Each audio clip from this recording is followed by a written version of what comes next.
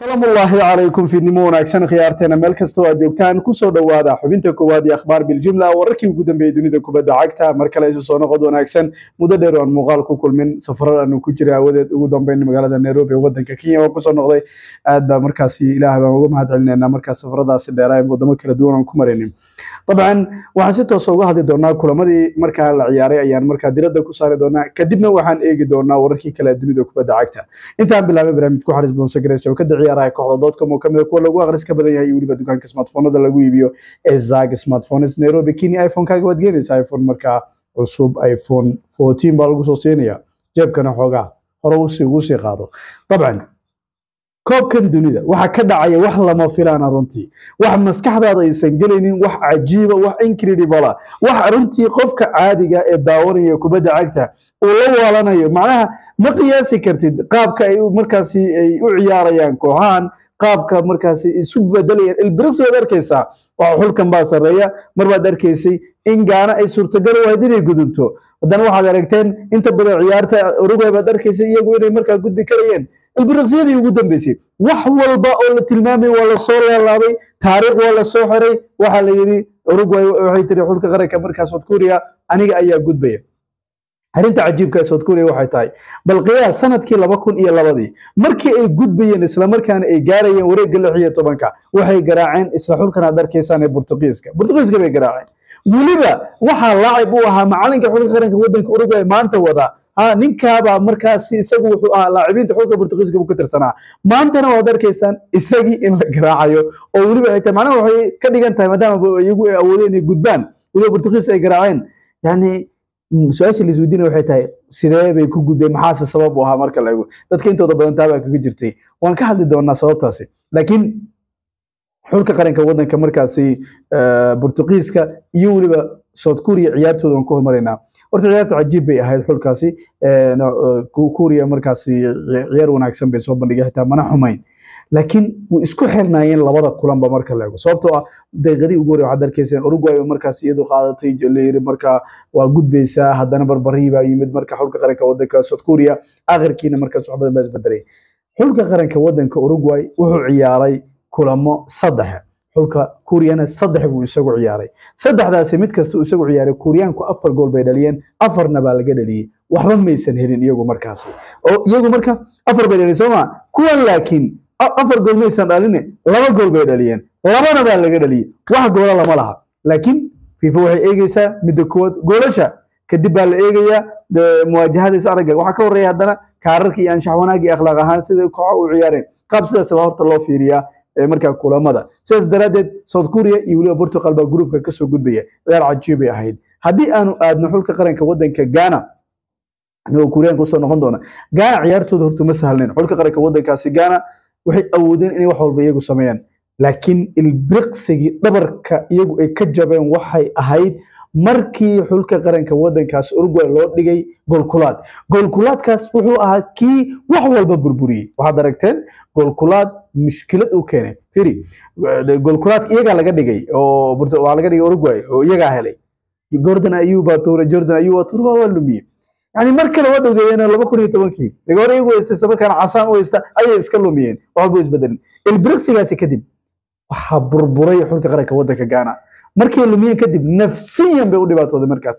Way garan kari waayeen qaabkan wanaagsan ugu yaraan la tacaamula ama si wanaagsan ula tacaamula ma isan awoodin. Waxaad aragteen xaalad jahawareer bay galeen. Intaa wixii ka dambeeyay buuq fara badan baa markaas la darsay. Taa oo keenta marka ciyaarto dhanba iyagu inay ka baxaan. Mashaakil biljumla ay la kulmeen. Kadibna markaas sidaas bay tartanka iyagu ku macsanaameen gool koowaad baa laga dhaliyey gool labaad baa laga dhaliyey xulka qaranka wadankaasi gaana sidaas buu tartanka ku macsanaameynaya kaalinta afraad buu gelayaa uruguay oo labaad gashay afar dhibic bay la yimaadeen laakiin sababta looga reeb waxay tahay laba gool keliya bay dhaliyeen. Kuwana waxay dhaliyeen afar gool. Waa sax mid kastaba tirada uu dhaliyey waa laga dhaliyey. Oo wax goolalo markaasi negative waxna laguma laha wax markaasi positive iyagu ay leeyihiin ma laha. Laakiin imise dhaliyeen baa laga hadlaya farqiga marka waa kaa dabcan suarez wuxuu ka yahay xidigihii laba kun iyo tobankii keligii waa isagu kaga bilowday maanta isla markaana waqtigaana ku soo bilowday maantana markaas ku bilowday wajahaya. Xidigihii kale maba joogaanba markaasi ama kuma soo bilaabanba markaa daalood waxaad arkaysaa markaasi afar gool inuu ku lug saddex kulana markaa portugiis ugu ciyaar. Dhammaan tartamadoodin waxaa lagu leeyahay goolna waa dhaliyey laba caawinna waa sameeyey markaasi. Weliba xitaa ninka goolka dhaliyey wuxuu isagu sameeyey taariikh markaasi ah ninka georgian uruguay u dhaliyey labada gool wuxuu noqonaya laacibkii ugu horreeyey muddo dheer. Markaas isagu qeybta hore laba gool uruguay u dhaliya tan iyo kun sagaal boqol iyo soddonkii ba ugu dambeysay markaasi xulkan. Dabcan taariikh bay iyagu sameeyeen waa sax way dadaaleen xulkan laakiin nasiib darro kuuriyaanku waxaa lagu leeyahay waxay noqonayaan xul kale oo eshiyaana oo matalaya. Jabaan mucjisadii ay samayso waad arkayseen markana kuuriya baan arkaynaa waa wax unbelievable incredible cajiiba runtii annagoo dhan naga wada yaabinaya marka la eego. Sagaashan daqiiqo waad arkayseen kuuriyaanku. Waxaa la waa isbedelaya laakiin drama baa dhacday markaasi. Waqtiga lagu daray yacni in sidaas ay isu bedelaan waa wax cajiiba oo runtii dhammaanteen naga yaabisay markaa tani waa kubadda cagta. Waa kubadda cagta sababtay uga socan tahay ciyaaraha kale. Waa kubadda cagta sababta loo leeyahay kubadda cagta baan rabaa kubadda baan jecelahay waxaan oo kale ayaa daawanaysaa macquul maaha in aad aragtid. Mar gaanaa soo baxaysa mar uruguay baa soo baxaysa mar akhirka kuryaanka baa soo baxay waana gudbayaan.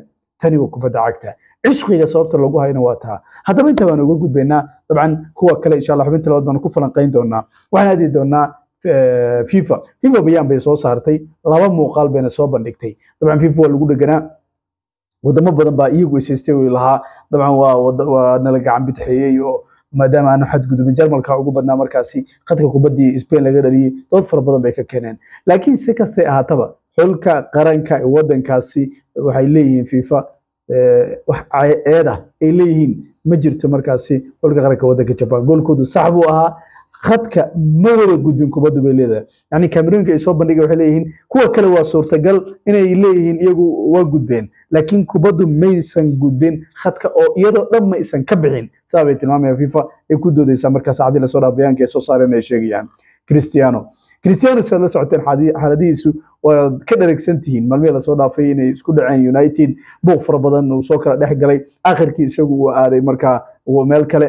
Nadiib kubadda cagta markaasi united waa ka tegay ninkan alnasr iyo weliba alhilaal baa isku haysta sacuudiga odaygii dhammaa markaasi. Hadda waxaa leeyahay gawaaridiisii qaaliga ahaa ee shan boqol oo kun markaa geniga starling gawaari ka soo bixiyey ayaa laga raray markaasi magaalada manchester waxaana la geenayaa wadankaasi portugal isagu uu joogo markaa. Halkaas buu ku nasan doonaa halkaas buu muddo joogayaa kadibna wuxuu doonayaa inuu si raadsado koox kale waxaa suurtagala. Wararka qaar waxay tilmaamayaan in uu ronaldo doonayn inuu aado kooxda kubadda cagta ee alnasri wadanka sacuudiga ama koox la mid ah waa sax way anfaca way doonayaan dhaqaalaha mustaqbalku waa anfici doonaan markaasi oo safiir ahaan bay doonayaan sacuudiga inay ka dhigtaan.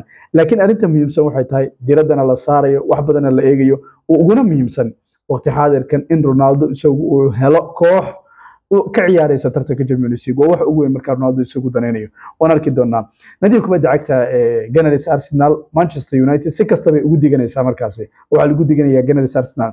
Gunners waxaa lagu leeyahay mushaaraadka hadda ay bixiso boqol iyo konton milyan baa laga hadlayaa. Ah boqol iyo konton milyan. Waa sax lacag ani adiga lacag weyn bay noqonaysaa lana noqonaysaa markaasi.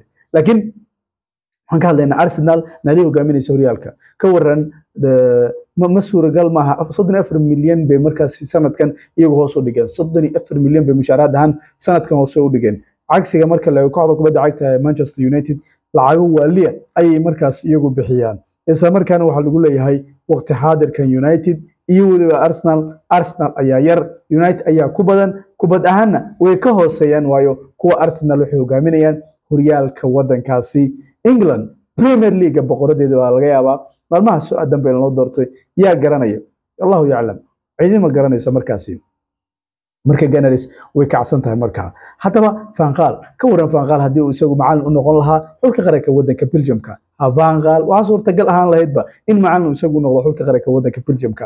Dabcan maalmihii la soo dhaafay waxaa la tilmaamayay ninkiisi uu ka tagay xulku waa ka tagay salaameynaya Ronald Koeman iyo rag kaleba marka la duudaya laakiin Ronald Koeman in la soo celin doono way u badnaan doontaa xulka qaranka wadanka Mareykanka ciyaartiisu wuxuu yiri ciyaar cajiib ay noqon doontaa Holland iyo weliba markaa wadanka kale ciyaaraha ciyaari doonaan nafta waan u hori doonaa waan dagaalami doonaa buu yiri wax badan baan rajaynaynaa natiijooyin wanaagsan oo positive ah. Inaanu ka helno markaasi isagoo rajaynaya in lafsadoodu ay dagaalamaan weliba wareegga xigay ay u gudbaan markaasi.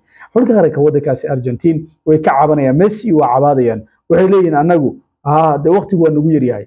Messi oo ka bilaabay inuu caabaado baa leeyahay koobka dunida.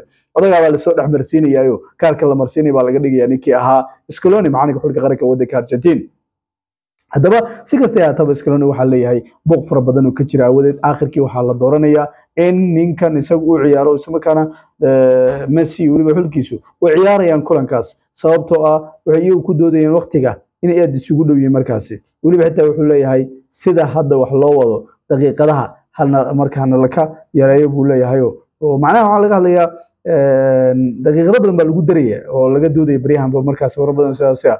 Oo ciyaaraha markay dhammaanayaan oo afar iyo toban daqiiqa marka qaar maqlaysaa marka buuq fara badan baa markaasi ku gadaaman insha allah xubinta waxaan ku kulmi doonaa haddii uu eebba qadaro. Xubinta labaad oo aad marka wararkii suuqa iyo weliba waxaan isku dari doonaa kulamada la ciyaarayo brazil iyo weliba kulamada kale. Sii shargaraya saxaabadiin la wadaaga. Aad mahadsantiin waan kaga mahad celinaya ugu xirantii barteena halkan waxaanu u taagannahay sidii adigoo daawadaha aad u heli lahayd warar lagu kalsoonyo ciyaaraha kubadda cagta warar xiisa leh deg deg iyagoo ah fresh ah weliba xitaa waqtiga ku habboon aan ku soo gaarsiino. Ballanteennu waa inaan juhdi ku bixino adiguna waxaan ka codsanaa sii shargalay saaxiibadaada la wadaagtid mar walba dunidu ciyaaru waxay ku taagan tahay ama u taagan tahay inay adiga ku matasho oo ah dhalinyarada islamarkaana jiilka u soo koraya dalka. Waayo adiga la'aanta dunidu waxba ma noqoteen